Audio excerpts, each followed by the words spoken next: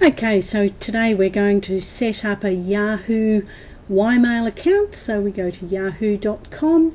Over on the right hand side of the screen there, you'll see the uh, sign up for a new mail account. So you just click on there. If you were already had an account, this is where you'd enter your details, but we need to sign up for a new one. So we'll click down the bottom. You select here what country you want most of your content to come from, and then with all internet, you begin to do your form fill. So your first name and your second name. They want a bit more information here, so we key in our uh, our gender, whether we're male or female, our date of birth, and uh, this year we're going to be 40. Uh, the country that we're from, Australia, your postcode.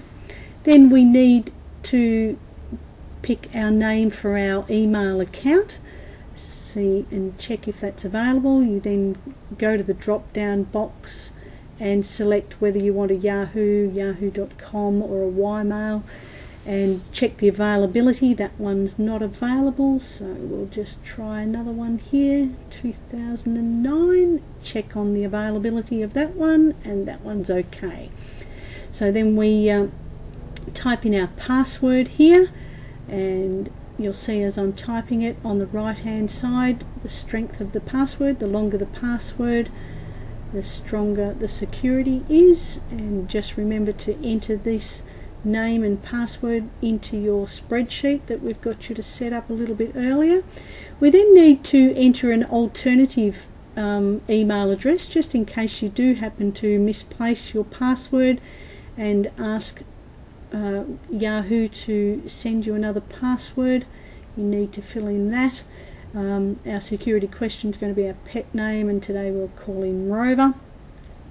Unless you want to receive extra emails from Yahoo about their news just uncheck that box then type into the box below that the letters if you can make them out there.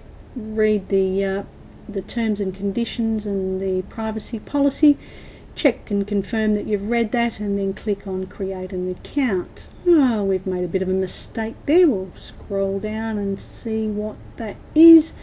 And we've obviously misread those wobbly letters so we'll have another go at deciphering what they are.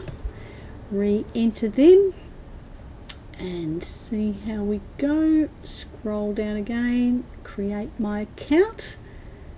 No we obviously still didn't get it right. You'll notice they keep checking that box so just uncheck that if you don't wish to receive the email from them and I'm sure you get enough. Type in your wobbly letters again. Create my account and yes we've been successful this time. That gives you all the details there on the left hand side on the right hand side.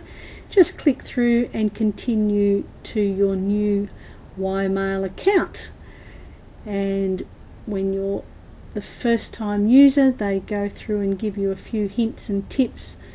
Just keep clicking on next then it shows you where things are and what you can do. But today we'll just close that down because we don't need to see that.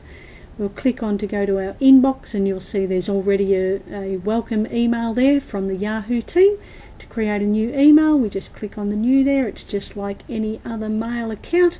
Type in your to and from your subject and click on send sign out and you've created your